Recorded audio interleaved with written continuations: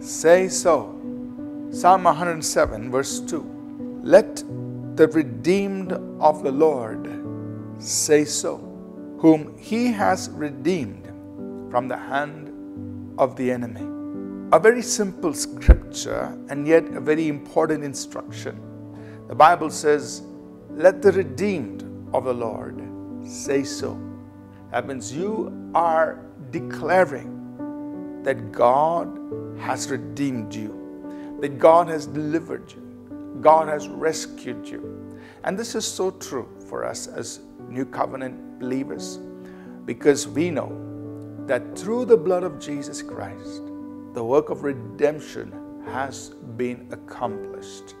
And therefore, Paul writes that we are redeemed. In Him, we have redemption through His blood.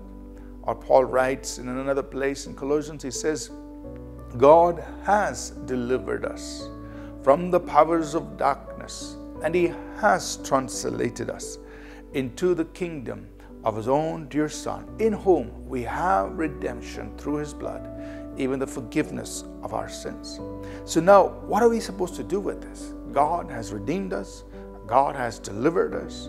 Our God has broken the power of sin. He's broken the power of Satan off of our lives. He has taken us out of darkness and He's brought us into His marvelous light. What a great redemption, what a great deliverance God has given to us. Uh, Paul writes in Galatians, God has delivered us from this present evil world. Uh, in Titus, the Bible says that He has uh, delivered us from every evil work so that he might sanctify us and purify us unto himself. So he's delivered us from this evil world, he's delivered us from evil works, sinful deeds. I mean, a great redemption God has accomplished for us. But we must learn to say so. We must learn to acknowledge it. And you declare about yourself that you are the redeemed of the Lord. Because the Bible says, let the redeemed of the Lord say so. So you begin to say, I am the redeemed of the Lord. I have been delivered from the powers of darkness. Satan has no right over me, no place in me, no authority over my life. You begin to say that. Sin will not have any dominion over me. Evil deeds will have no power and authority over me because I have been delivered from evil works. This present age will not have any influ- influence over me because God has delivered me from this present evil age. So you announce and you declare your redemption. You declare what God has redeemed you from. Let the redeemed of the Lord say so. And then what will happen? You will find that the enemy knows that you are redeemed. He cannot play around with you. He can't deceive you.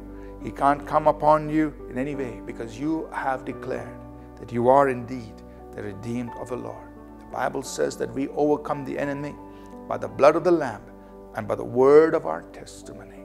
So you, you and I need to declare, but you and I need to testify to what the blood of the Lamb has done for us and provided for us. Boldly say what you've been redeemed from. Let the redeemed of the Lord say so. Let's pray.